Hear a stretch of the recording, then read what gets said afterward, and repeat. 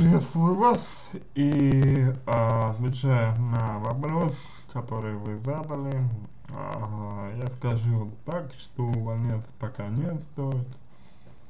Начальство поступает в соответствии с э, трудовым законодательством, то, есть э, не хочет лишаться сотрудников, а старается как-то э, поддерживать атмосферу без увольнений, иначе у них будет не очень хорошая репутация, как у работодателей. То есть они здесь беспокоятся о себе. Что касается э, ситуации с человеком, то здесь, конечно, чистая случайность, э, нет здесь на самом деле э, правых виноватых, э, Дело в том, что вы были неправы, что начали прикалываться, мужчина был неправ, что он так негативно прореагировал, но, скорее всего, а, там была такая ситуация, что у них с женой а, было не все гладко, и мужчина подумал, что пишет а, какой-то любовник. И, и, скорее всего, у них с женой на этой почве произошли ссоры. Он бы даже ухудшились отношения. То есть чем, чем-то лично вы очень сильно мужчину задели. Чем, конечно, можно только предполагать, но тем не менее задели. Если бы не было никакого личного восприятия то я думаю, думаю что вряд ли человек э, так реагировал бы. Потому что, ну, если бы у него были, допустим, склонности к насилию, да, или просто асоциальное положение, э, поведение, то он не стал бы э, работать, то есть он не мог бы долго удержаться на месте работы. Но поскольку ситуация произошла, и произошла она вот в том контексте, в котором вы описали, то думаю, что вы как-то чем-то его задели.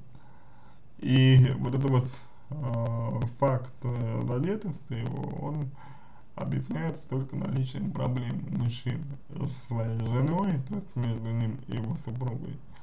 И эти проблемы просто получили выход теперь вот на, на вас, если раньше они были внутри пары и как бы не имели никакого выхода, то сейчас этот выход есть, и этот выход целиком и полностью на вас как бы э,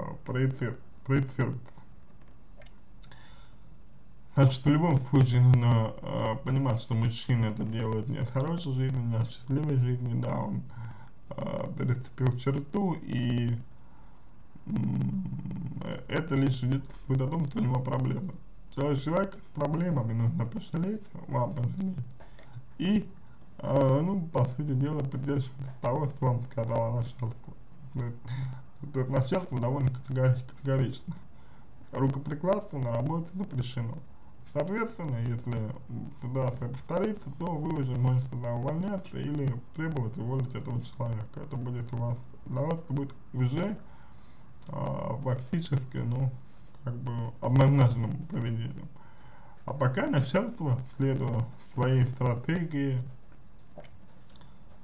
а, сохранения и своей репутации, и своих сотрудников, ну, она предпочитает а, занимать такую вот выжидательную, больше э, регулирующую позицию.